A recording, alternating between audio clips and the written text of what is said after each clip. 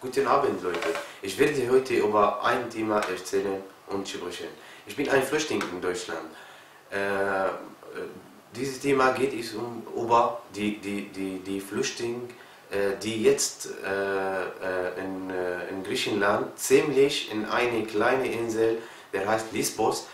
Und äh, ich bin jetzt Teil einer Tuli-Gruppe hier in Deutschland, der heißt Karphophobie. Äh, äh, wir, äh, wir wollen die, die Flüchtlinge wie möglich helfen. Und ich denke, 10 Euro ist nicht zu viel und nicht zu wenig, aber es ist genug, um eine Familie zu finden und die Situation zu bessern.